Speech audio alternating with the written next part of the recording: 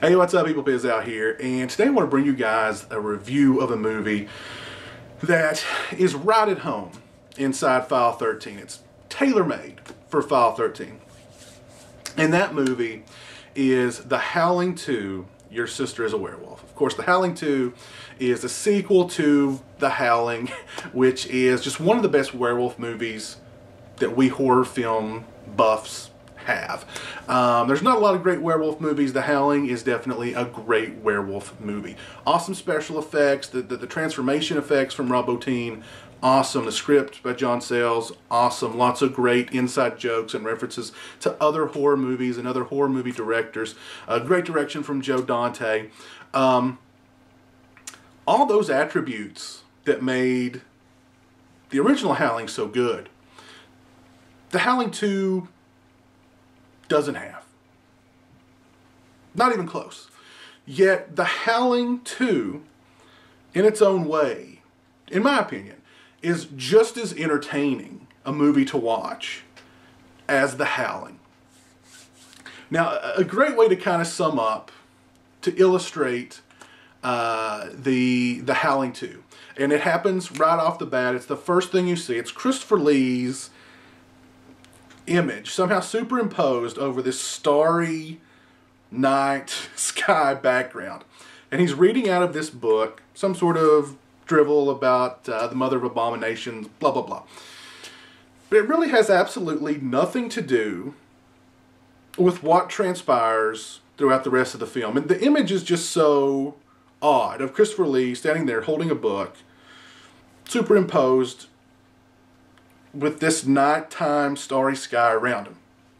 But it's just one of the very confusing and odd and head scratching moments that you're going to have. You're going to have many, many, many more uh, throughout the duration of the Howling 2's running time. But what the Howling 2 has uh, that none of the other Howling films have is a continuity with the film that preceded it.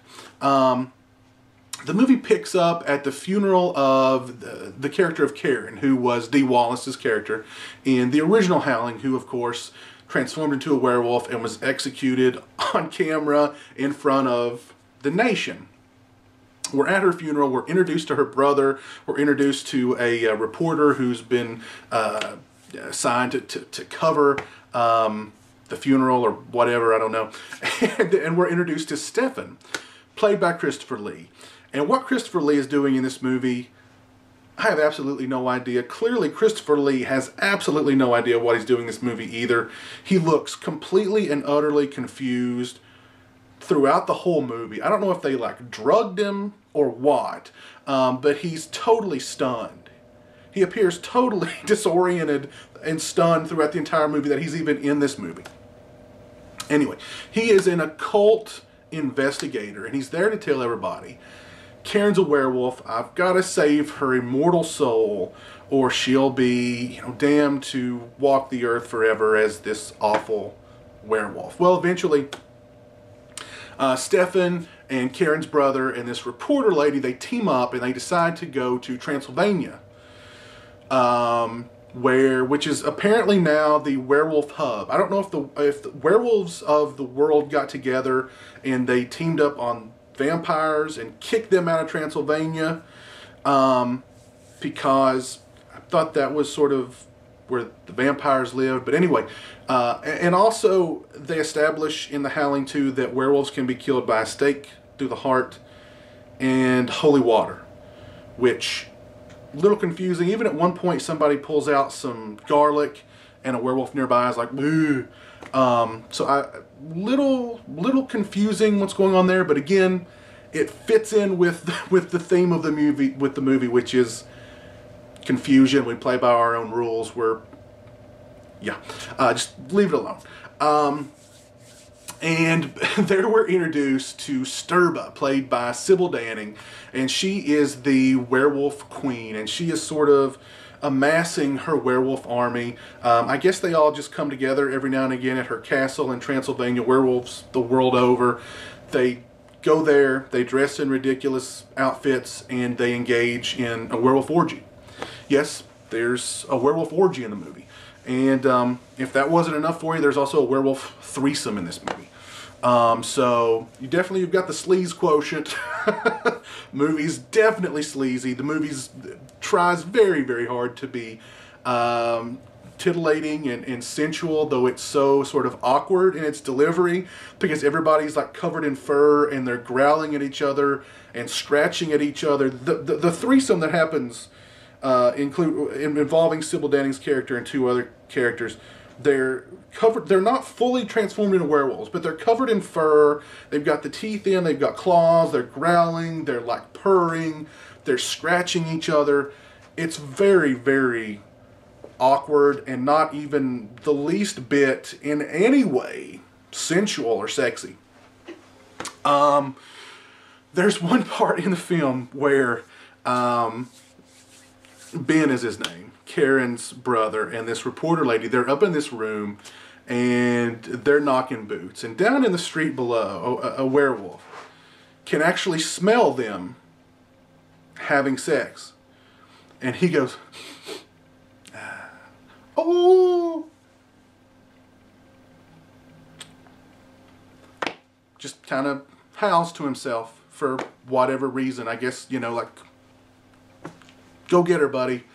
Um, again, totally crazy out there, you know. Um, the movie follows a dreamlike logic. There's no logic in this film whatsoever. It takes place in a totally alternate universe. And even though it's the only Howling film that has that follows the previous Howling movie.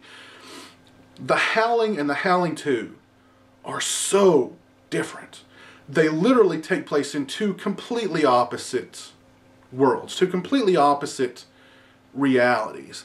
Some of the stuff that happens in the Howling 2 is so just silly and confusing and head scratching, yet at the same time, it's so, so utterly entertaining.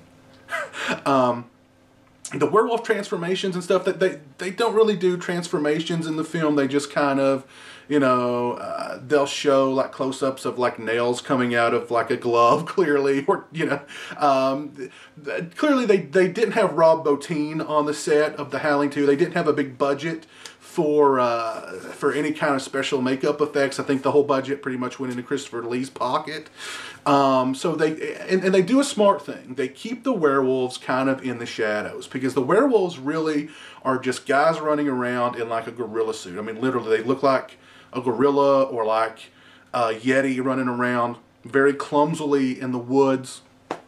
These are really the, the, the least menacing werewolves in horror movie history. They're not scary in the least.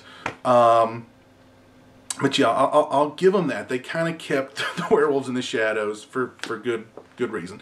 Um, the movie was directed by Philip Mora, who actually went on and directed the next Howling film, which was the Marsupials, the Australian um, werewolf movie, which I actually like quite a bit. He also directed uh, Communion, uh, the alien invasion movie with Christopher Walken, which is which is pretty good too. So he's done some good stuff. And and what's funny about The Howling 2, two things have always stuck out in my head about the Howling 2. One is just the weird, you know, it was like 1984, 1985. So, of course, MTV was huge. It was influencing how movies, you know, the music video style was influencing how movies were being made. So, there's a lot of super quick cuts, weird angles, um, a lot of you know, attempted stylistic stuff. You've got some, some edit, intercutting of like, um, uh, imagery that's supposed to be, I don't know, uh, deeper um, I, I, have, I have no idea what was going on there. Um, but that sort of look of the film, uh, and also there's a band called Babel that plays during the film. They play this song called The Howling. And um, you're going to be singing this song for at least a couple of days after you watch the movie. Um, it's a really cool song, actually. It's kind of, it's all, it's, it's new wavy, kind of also kind of punky, um, but goth. It, it's weird. I mean, there's a guy playing a guitar, um, but yeah, just a, a, really cool song. I've always liked the song, um, but um, uh, what if you watch this film and you make it to the end, which you should, there's the most ridiculous end credit sequence. They're playing the the the, the, the Babel band is playing. They play live in the movie, but the song plays constantly throughout the the entirety of the film. But at the end of it, they're they're playing the song, and there's a sequence in the film where Sybil Danning rips off her dress and exposes her breasts. They repeat this ripping off of the dress over and over and over and over again for really absolutely no reason but to just like show boobs over and over and over and over and over again. And at the very end of the movie, while the credits are running, I mean, there's no reason for this to happen um, aside from just being totally sleazy and um, yeah. But um, yeah, The Howling 2, Your Sister's a Werewolf. What I'm trying to get at here is it's a weird, weird, strange, silly, ridiculous, sleazy, uh, exploitive, um, fun, entertaining movie. Um, it's like an hour and a half long. Lots of fun. There's a couple of good gags in the film. One involving a, uh, a dwarf, a little person whose eyes explode, and not just explode, but like projectile explode out of his head. Uh, there's a, a, good seek, a good gag involving a, a priest who is just um, uh, horribly um, violated by a uh, this bat-like creature. That's actually uh, pretty cool. So you, you do have a few good special effects in the film. Um, but yeah, just overall, such a fun movie, such a fun, silly, wacky, off the wall movie that just plays by its own rules. Uh, is totally out of left field. Um, just has uh, obeys no logic but its own, and uh, I'll, I'll, give it credit for that. It's unabashedly um, all of those things and uh, I appreciate it for that. And it's it, it's highly entertaining. Uh, if you haven't seen The Howling 2, please please do so. You can pick it up on DVD, super cheap. Go watch it. Wild movie. If you've seen The Howling 2, please let me know what you think of it in the uh, comment section below. Hope you guys enjoyed the review. And uh, until next time, take it easy.